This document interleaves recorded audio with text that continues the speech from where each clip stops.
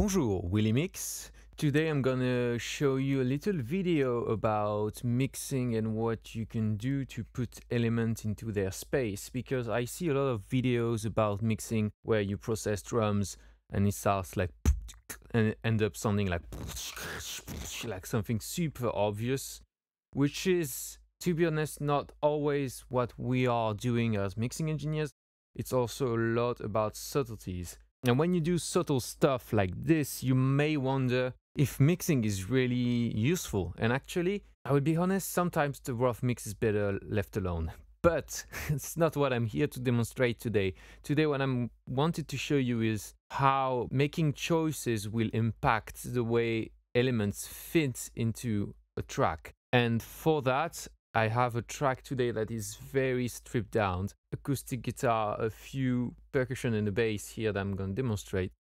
And I will show you before and after the processing so you can hear.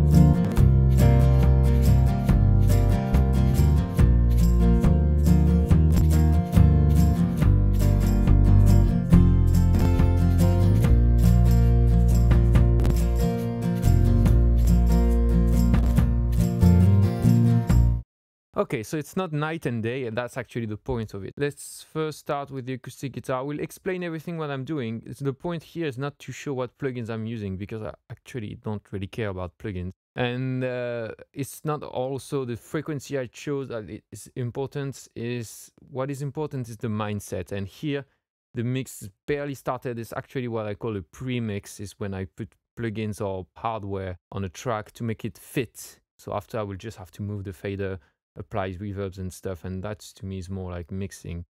Mixing to me is not like fixing but sometimes that's what you have to do anyway. This is the guitar with everything off. So yeah it sounds cool a bit muddy. So that's why I added this EQ, I'll low cut a little bit to let some space for the bass and use the dynamic EQ in the low mids because they are yeah, they are quite busy as you can hear.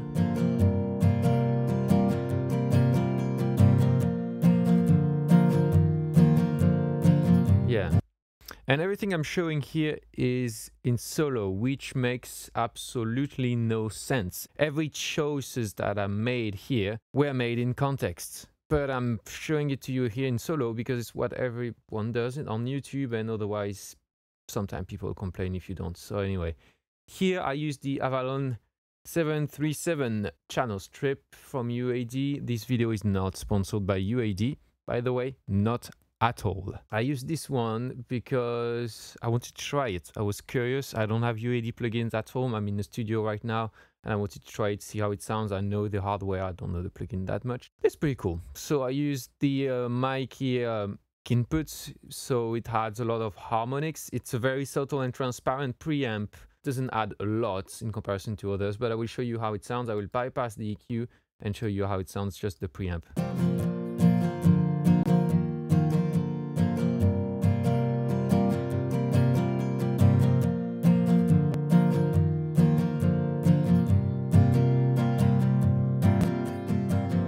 Yeah, it sounds softer with it. It kind of cleans up the mid range. It's not something that you would like, for instance, for an acoustic guitar in a more rock or vibey environment. You know, something that needs to have a personality. But here, it's a very soft and mellow track. So we want the acoustic guitar to be soft also and not like super, yeah, characterful in a way. And after that, I use the EQ, which sounds like this.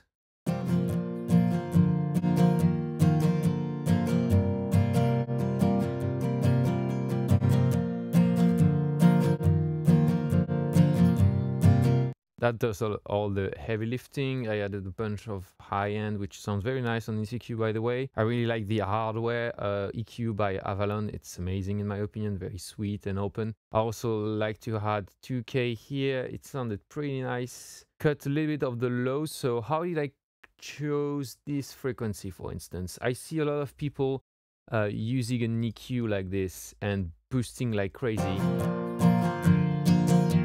You know, to find the frequency and cut it after. In my opinion, it works when you need to go quick. Also, when you're on an analog desk, for, for me, it makes more sense. But in the box, when you got the time to think about it, I will advise to do the opposite, actually, to do that.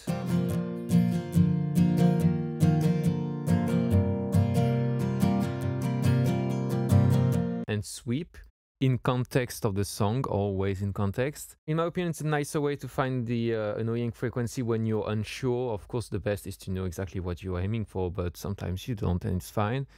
And here it's what I did. I cut the low mid and I swept across the frequency, and I realized that like 100 or something wasn't really necessary in the mix, so I cut it down. But I also realized that it was kind of a wide Q because I didn't put the high Q here and I realized that it cut a little bit too much of the body of the acoustic guitar. So I boosted 30, which it makes no sense on acoustic guitar, but here it works. And it's actually what makes it sound still open and bright, but not thin, because otherwise it will sound quite thin, in my opinion. I will show you before and after again.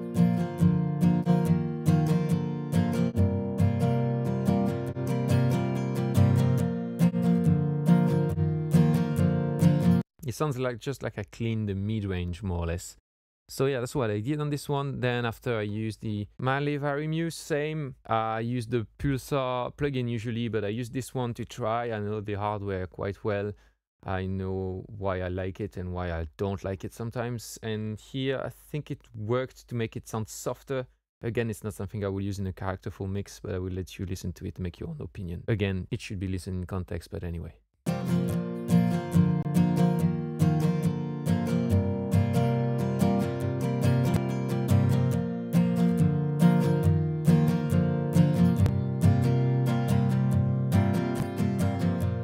Also, we make them sound a little bit quieter, so you might think it's better without because it's quieter. I compensated with the oxide plugin again with the uh, output here. So it's going to sound louder with it, again, because I compens compensated for the whole chain. But I will switch between input and repro head so you can at least hear what it does without the volume boost.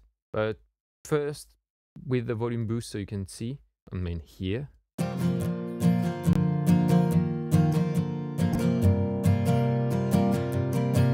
It's obviously louder. Let's see uh, between repro and input.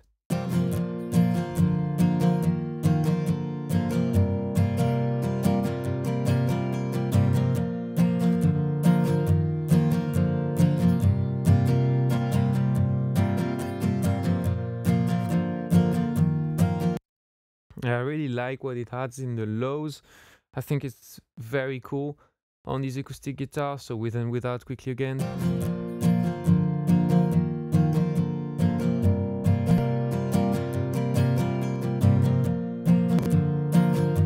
It works. I did something a bit different for the kick drum.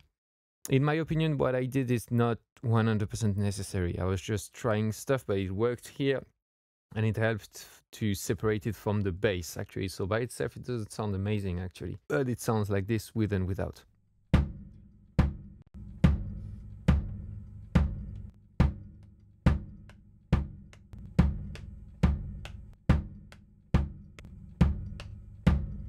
So I use the Studer first because it has a, like a massive 4 dB boost in the lows. When you ana analyze the plugin, you can see that. So that's why I used it.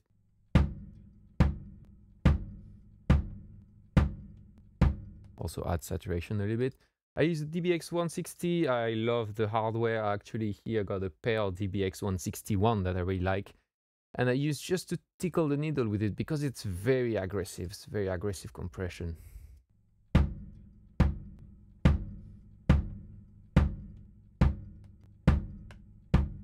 It's nice. It makes it less soft in a way, but that's what I will need here to make it stand out from the bass, which is like a very low sustain note. And talking about sustain, I use this one, which I absolutely smashed through the input to make it saturate like crazy. I uh, will make you listen with and without, and after I will push the mix knob because I put the mix knob down first.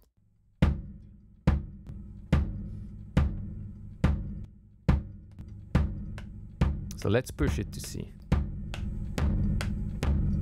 Yeah, it's crazy. So what I did is in context, I pushed the mix knob a little bit until I found what I liked and I just stopped there. I will show you how it sounds when I push it. It has a little knock in addition to the sustain added, which I really like. I will show you in context here so you can uh, listen to it because yeah, listening in solo, yeah, that's enough. I will make you listen in context now. All right.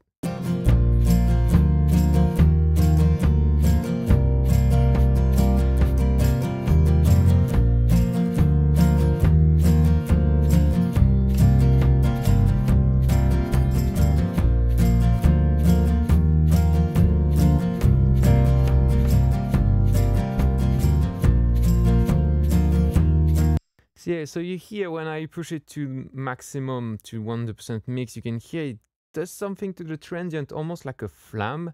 And I, I quite like that. So I pushed it until I heard that flam just enough, but not too much, because if you push it too much, you just destroy everything. Then after I use a technique that I usually use on the snare, which is cutting the frequencies that are ringing, but boosting it dynamically, right? boosting it dynamically so when the kick hits, it's boosted or at least uh, goes to unity, and when it's not, it goes down. So it's almost like uh, only EQing out the sustain part of the sound. So it sounds like this.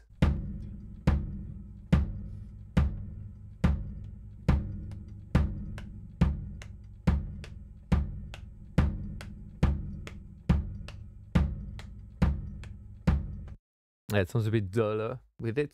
This also helps to control the kind of frequency there is.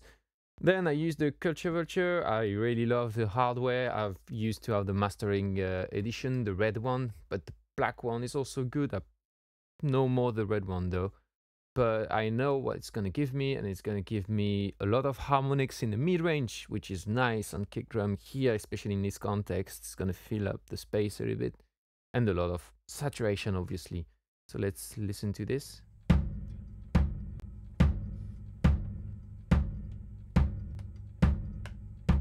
Yeah, it makes it a little bit, that gives it some authority in a way. Also, the volume is a little bit quieter again. I said I prefer that. It might make me look bad because it might make you feel that the processing is not working well. But I really don't care because in the end, it's not what I'm doing that matters. It's the final song that gets listened to, you know? My ego doesn't matter when I'm mixing a song. It's different though when I'm singing or playing guitar or stuff like that. Anyway, that's what it does. And then I thought, yeah, why not a little bit of attack? It's not my favorite favorite transient designer. It's a little bit too peaky to me. Like the transient's a bit, little bit too sharp most of the time on kick drum, in my opinion. But that's the one I have on this computer, so I used it.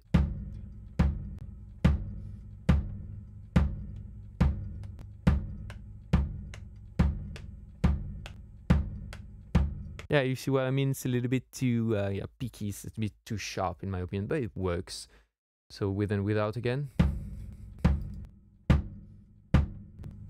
In context with the guitar, for instance.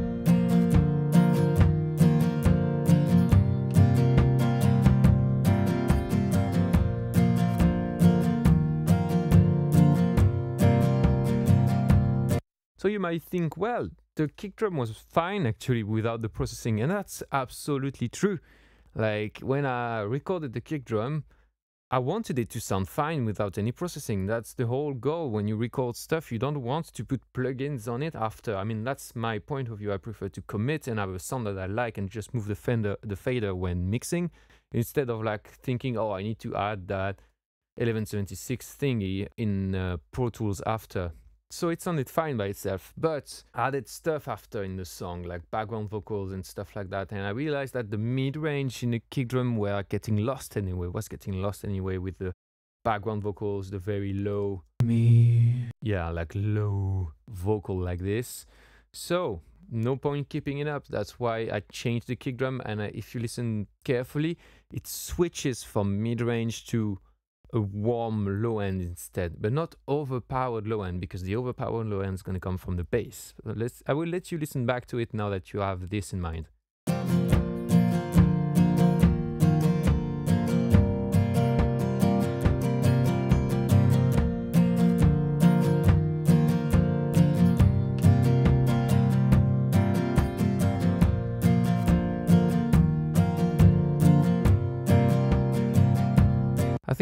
Actually push the output a little bit.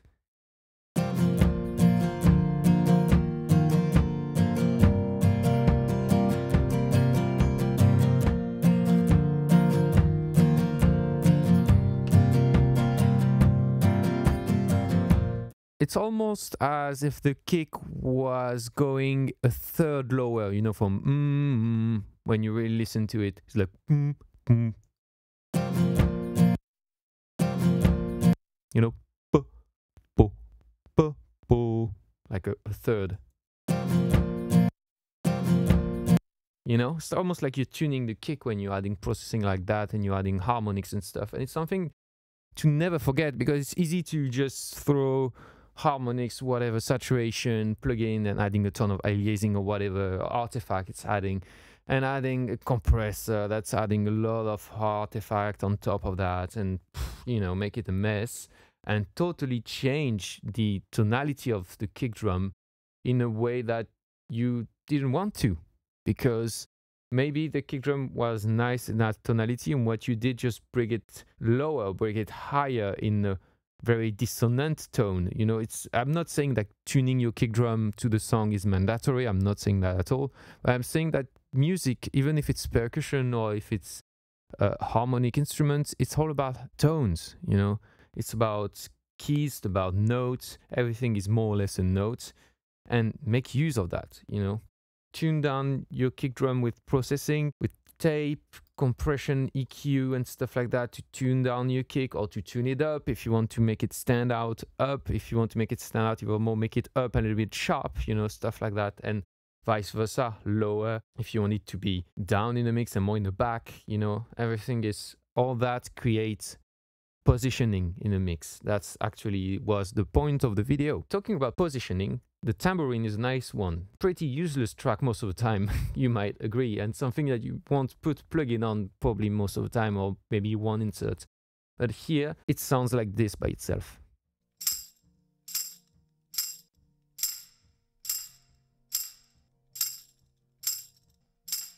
You might think not much of a difference. Actually, it was pretty cool dry because it was punchy, it was coming through, but that's not what I want. Like the tambourine is not my lead track, not at all, and it's not the it's not playing the role of a snare either.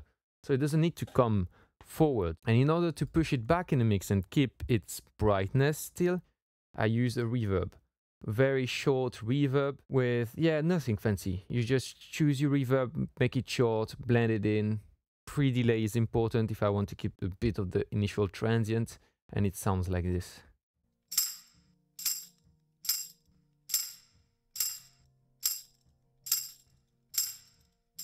Yeah, so in addition to putting it back in the mix, in the back of the mix, it also adds a little bit of sustain. It's very subtle though, so the sustain is probably not the most important part, I would be fair. And then the oxide tape again, because I like how it softened the high end without being too obvious. And it also clips a little bit the peaks, but very slightly. Also very slightly because it's after the reverb and not before and also because the VU is barely moving. So it's actually probably just the compression, uh, the compression saturation I'm using from a plugin, and also the output that I lowered a little bit. So you might think, oh, it's louder without again.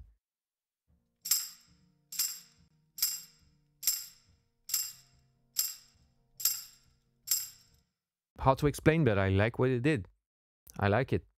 So I left it on. In context, you will see how the, the tambourine is quite sharp and in the center, and when that's processing, it goes back into the mix to let more space for the vocals and other bright elements to shine through in the center.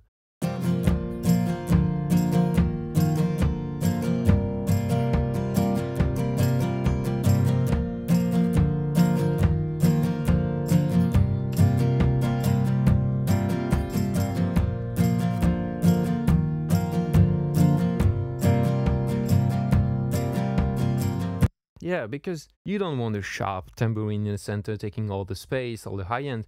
You just want it to be the back, to be an embellishment. You don't want it to be a feature. I mean, that's actually not what I wanted here.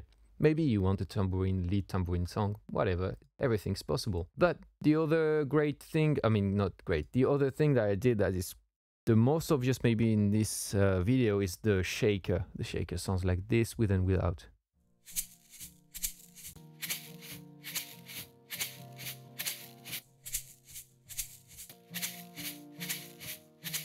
Much different. Again, I was talking about tuning down, and that's more or less what I did here with the shaker again, if you listen to it.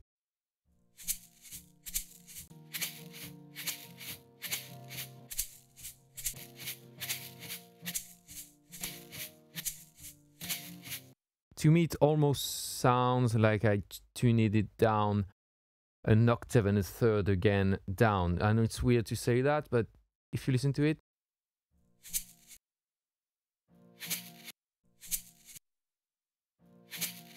it's almost an octave down in a way. But it doesn't make sense because it doesn't really make a note per se. But the heavy lifting here is done by Native Instruments Dirt. I uh, have to confess, I don't know this plugin. Uh, I know what I wanted to do with the shaker. I wanted to soften it up. And I was scrolling through the list and I saw Dirt. I, would, I had no idea what it was. I'm like, let's give it a try. Push the drive, use the tilt and bring back the mix. And I really like what it did. It just adds a lot of volume. So I put the mix down. And that's how I tune it actually to the frequency might say I wanted. I will show you how it sounds full on. It might be much louder though.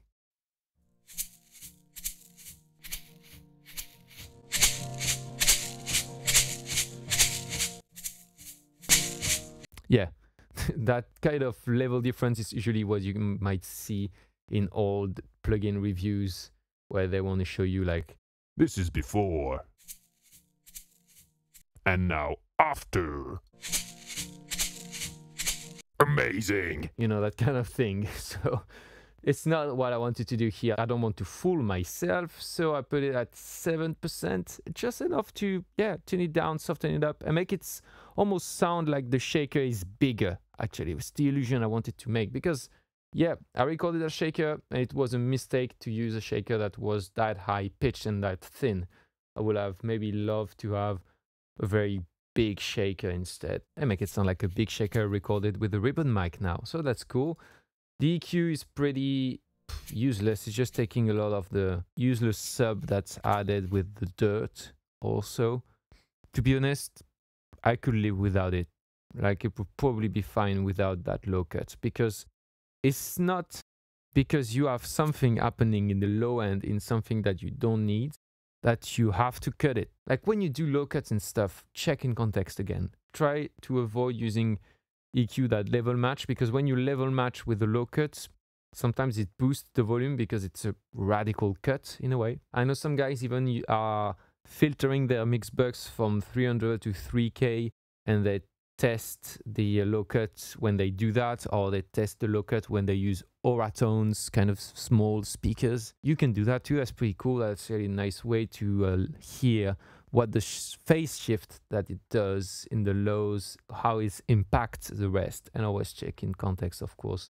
So here I could live without it, but I realized that it was better when I listen to it in the context. I would probably do it now. It might not make a lot of sense, but let's see.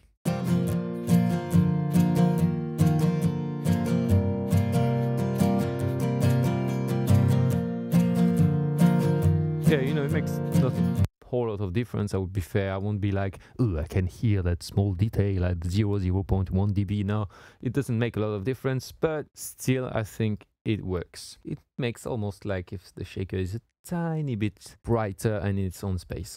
And then I wanted to, uh, I usually use a Devil-Loc Deluxe by Soundtoys, but I wanted to try this one because I love the Fatso, I love the hardware again. And I think the plugin is quite nice. I wish someone else from UAD and not ASK Note because I don't really like that plugin from ASK Note. But I wish someone else from UAD will do a Fatso because it's an amazing unit, very modern sounding, yet it wants to sound vintage. And I, I like that kind of mix when something modern tries to sound like tape because it gives you all the good thing about the modern gear, which is clean, not a lot of noise, kind of tweakable, and also it gives you the good stuff about the vintage tape which is the saturation the transformers sometimes the warmth which is how it saturates the high frequencies more and all that kind of stuff, and also the compression here, but it's not very important. And to be honest, what I did with the Fatso here is not very, in my opinion, not mandatory too, but I will let you listen to it and shut my mouth a little bit.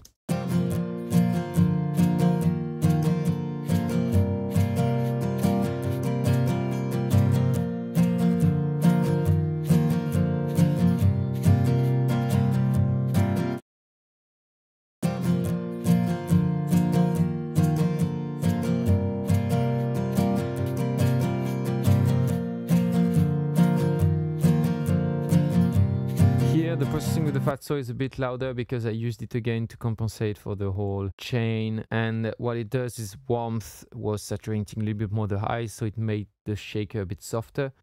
Tranny, to be honest, doesn't make a lot of difference on a shaker. And the compression is just so it's a very slow attack, fast release, just so it enhances a little bit the initial peaks. So it gives more of a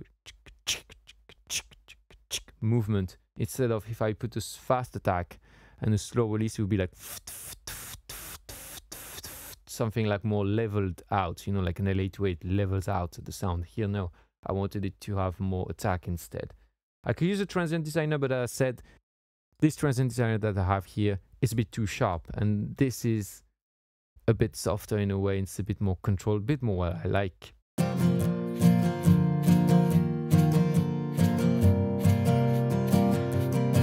Okay 103 dB. I like how it makes it almost like it's sticky. You know, it's got it's the back of the shaker, the back movement of the shaker is still there with uh, with the Fatso, and I like that.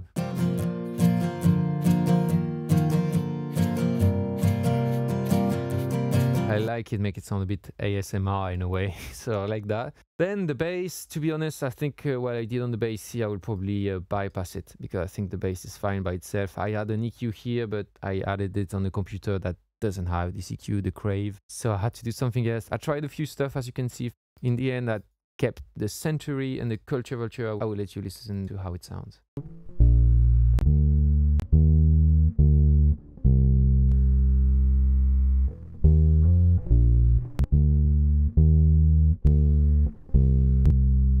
Yeah, make it the bass a little bit bigger in, in solo. In context, it's not that obvious. I will show you, actually.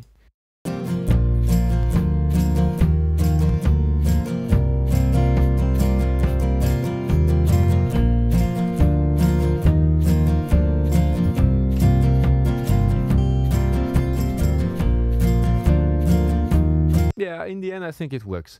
Anyway, I'll show you what I did and explain what I did for the placement of it.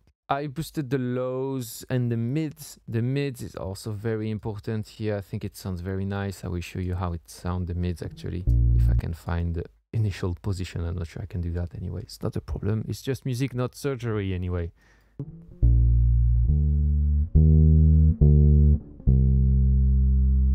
Yeah, I like these mids. I like how it makes the bass stand out. I will let you listen to it.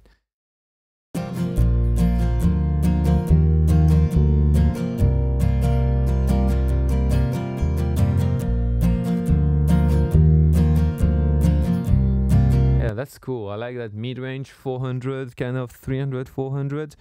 I do not need it to boost the high, uh, higher range like 800 too much here, but I will probably do it in the end when I will add everything and add the reverb and stuff. We'll probably need that, but I will see. Then, oh yeah, sorry. On this one, I also used the preamp inline mode. It's not really like, didn't really care actually. I just wanted to use the EQ because I like the low end on this one, which is pretty big. I will show it to you now actually. Yeah, it's big.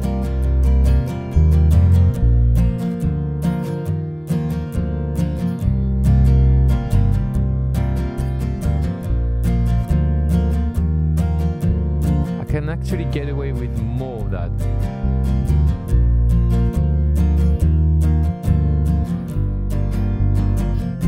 But I will let it here, and I use also a little bit of the compression, but not that much actually, it's just for controlling the peaks, because when you boost the lows in the bass, sometimes it creates some um, notches that just stand out, like some notes goes do do do, like super loud, and uh, you end up fighting your own decision because you end up adding dynamic EQ and compression and everything, and makes it's a mess.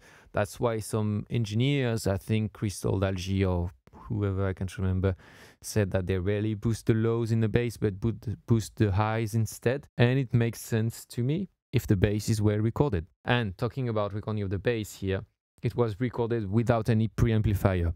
It was recorded by going from one compressor to the other and EQ to another. I wanted to try that. That's why there is that very sharp high-end sound back in the top. It's because it's coming from all these tube uh, compressors and EQ that I used. Everything that I did here is showcased on my Instagram if you have time to lose. On social media, you can watch my Instagram and see the actual chain that I used to record this bass. Even if actually I would not advise anyone to do that, it's better to use a proper DI. You can have fun and experiment, that's how you discover stuff. Talking about placement, because that's the whole point of this video. This mid-range knob here, I also cutting a little bit of the highs to tame the, the sound of the high end. That's annoying. But the mid-range is how you place the bass properly according to the vocal that is me very low. So the Century uh, channel strip here, I mean more like the choices that are made with the EQ, helps the bass to find its own space. Me, me, they make it sound lower. And so I will, by that, by having more lows and more mid lows, I will be able to keep the nice mids for the vocals actually, which is going to be in the center. Or maybe this guitar also can have it. Because this guitar has a little bit of mid range on Sweetadara that kind of like it. it. What I'm saying is that you don't need to carve space for everything. It's not because that guitar here had a little bit of a mid-range that the bass also have that it's a problem, not at all actually.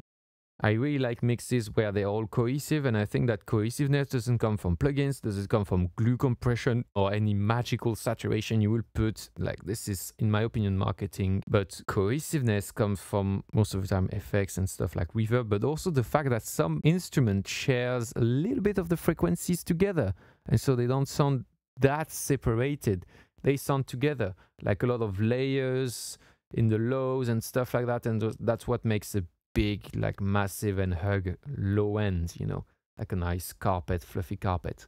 Anyway i'm getting a bit carried away. Let's go back to the bass i use the Culture Vulture again. I know this one i like it. Mid-range saturation that's what i want on the bass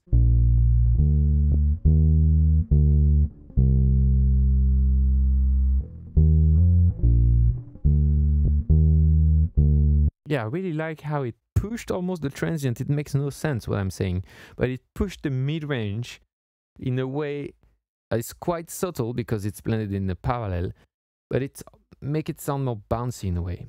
It's hard to explain, but I could have added mid range with EQ, but actually that's not what I wanted. I wanted to give the feeling that there is more mid range because the original bass has quite a nice amount of mids and I like that. And I would probably actually in the mix end up doing something like, yeah, this. I like the API EQ. We got one here, API 50, 550B. I really like that EQ.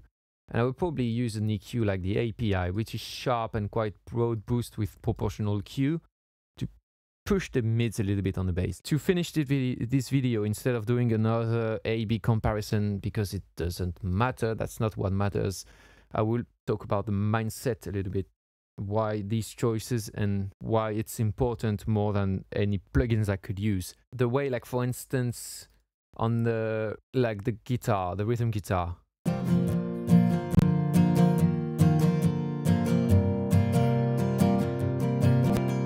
The processing made them brighter, and the shaker,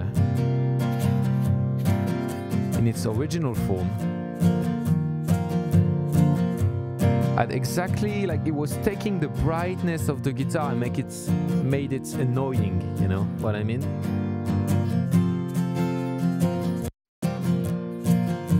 Because it, it made it spike like like a, a like an annoying nag that comes every time. It's not what I wanted. I wanted the shaker to be more like comforting, moving, you know, like a, a small, slow dance in a way. And for that, that's why I use that processing to make it lower. And I will show you the difference, how it gives more, it will give more space to the acoustic guitar in the high end to shine. And at the same time, it will, it will take the groove in the lower register, which is better in my opinion.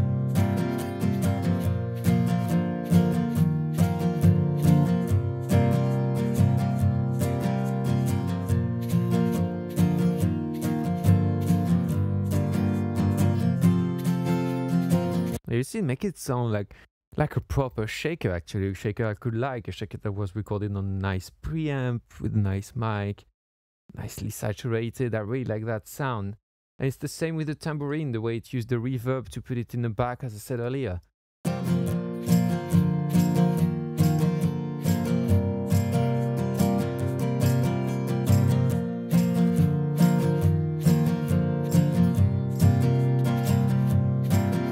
And what's interesting in the all that's all about the placement. Now that the shaker is going to be more in the back like a bed in a way, and the tambourine is going to be pushed back again with the reverb. Hear how the guitars shine more actually. They sound better because of that processing made here, in my opinion at least.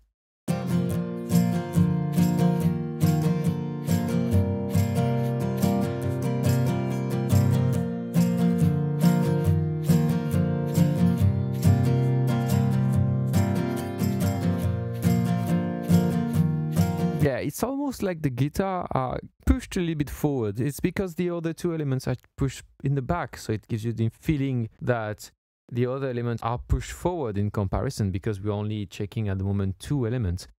But that's one of the ways to create placement in the mix. It's not, again, it's not compression with like glue compression or whatever. That's a term that's used a lot and I understand that actually why it's used a lot by plugin manufacturers, uh, plugin developers, or even hardware actually uh, manufacturers, because they want to sell their products. It makes sense. So they use the glue thing. So it's like you put this compressor on your mix bus and bam, everything bam. comes cohesive and it's nice and it's soft and it's cool. Or it's aggressive and punchy. It creates a front to back depth or whatever depth, warm, punch and all the buzzwords. But actually, what make that sense of depth of field, if we can say, because it's there is no depth of field, it's still stereo, and we can't fool ourselves. It's just us not being able to describe what's happening properly, because our brain can get tricked like that. Like when you uh, listen to a Apple Spatial Audio or other stuff, or binaural stuff with headphones, it's most of the time it's EQ and delay trick. And here's the same it's EQ trick, it's saturation trick, everything to trick your brain into thinking that the mix has a 3D feeling to it, whereas it's just stereo. That's our job as mixing engineer to trick the brains. Anyway, I hope you liked it. I hope it helped you in your own mix and inspire you at least to try new stuff and don't get caught in the marketing hype of compression and saturation just to make glue and cohesiveness and stuff like that. No, it's decisions. It's not saturation, it's not compression. Even it's what I use here, it's not that. It's not EQ, it's the decision. So, yeah, have fun and au revoir.